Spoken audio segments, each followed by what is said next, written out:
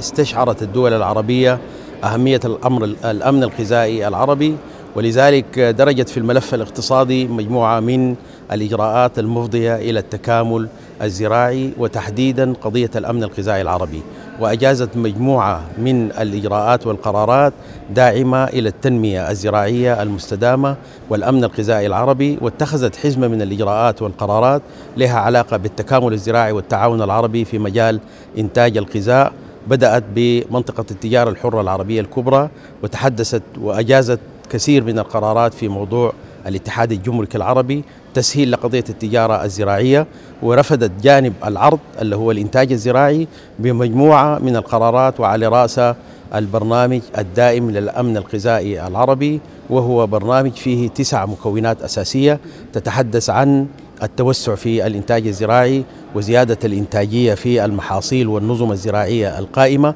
وزيادة التبادل التجاري واتخاذ الإجراءات المطلوبة في الحد من الهدر وضياع الغذاء. هذه المجموعة من القرارات ستكون داعمة في إطار الملف الاقتصادي لقضية الأمن الغذائي العربي. هذه القمة أضافت البعد التنسيقي بين الدول المختلفة وحزمة الإجراءات الكبيرة المفضية إلى تدعيم الجهود الوطنية والقطرية حتى يكون العمل عمل كبير ومفضي إلى نتائج مقنعة تساعد في دفع الأمن الغذائي العربي في المنطقة العربية.